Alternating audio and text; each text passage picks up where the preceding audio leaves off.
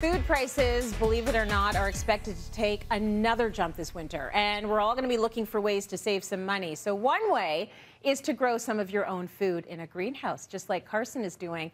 Carson looks so cool. I hear you're feeding a pretty big crowd these days at the garden center. Yeah, it just keeps growing and growing because we also share with our community around us. So, yeah, unfortunately, there's a lot of hungry mouths, but we found a way to maybe stretch the growing season this year. It looks so cool. Okay, tell us about this domed greenhouse.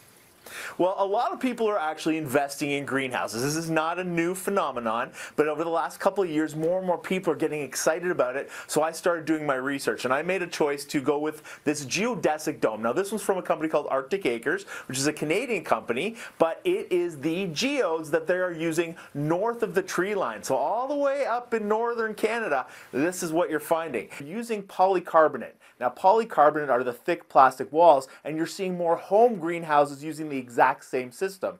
These polycarbonate walls actually create a little air pocket in the middle. So they stay warmer longer, but at the same time, they let the sunshine in so your plants will grow. It keeps your greenhouse warm, but it also adds that little bit of insulation. So even at night, it's, it's not so bad in here. Very cool. All right. I love that people are jumping onto this trend. It's a beautiful trend if you're growing food. What can you grow in there?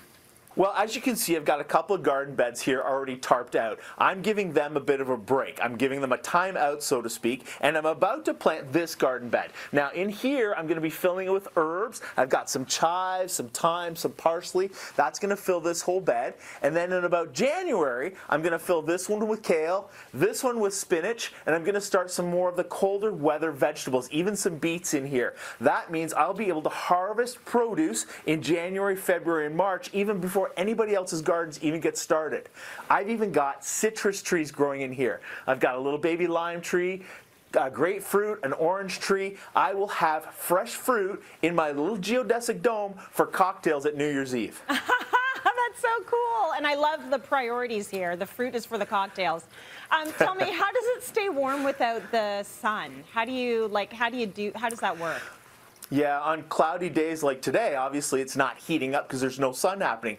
But what you do have is a pond. Now it seems a little odd, but this pond is actually my heat source. What happens is this heats up in the summer sun. So during the day, even in the winter when it's sunny in here, the pond heats up and then at night the ambient temperature is released from the pond into the air around us.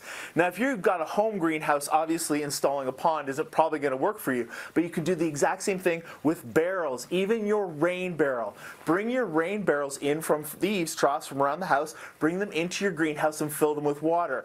They will fill up, they will heat up during the day, and at night they will release all that warmth back into the greenhouse. So basically, it's going to cost you very little to actually have a sustainable space. Okay, so now what happens uh, to this greenhouse in the summer months? Like, is, is it on fire? It's like, what? How, how hot does it get? yeah.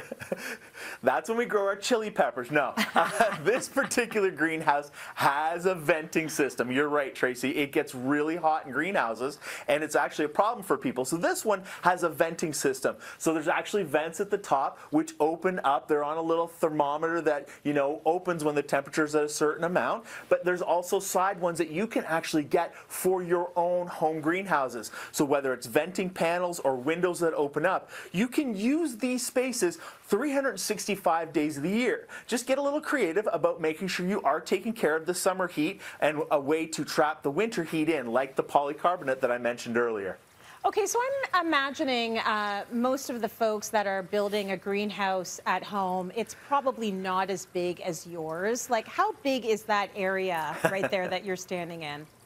So this is a 25 foot diameter, and this is one of the biggest options available. And again, because I'm feeding the community, I wanted to go big. But for the average homeowner, six to eight feet wide by about five feet is perfect. You can actually feed your family. You can incorporate some little electricity in there if you want some grow lights. You can actually make it work for you. You don't have to go huge. But when it comes to backyard spaces, greenhouses are actually one of those things that real estate agents are now saying customers are looking for. They like the idea. So you could put this in for your property and actually increase your property's value when you go to sell. Or because they're dismantleable or dismountable, You know what I mean? You can take Yeah. them apart. You can actually take it to your next house and use it there too. That totally makes sense. Okay, you know how big my backyard is because you did my backyard.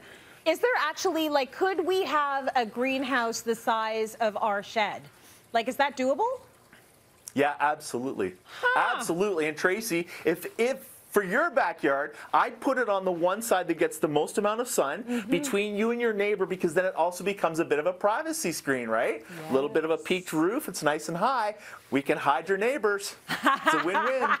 He knows what I'm dealing with. He's seen what's going on in my backyard. Love seeing what this guy is up to and how we can uh, follow.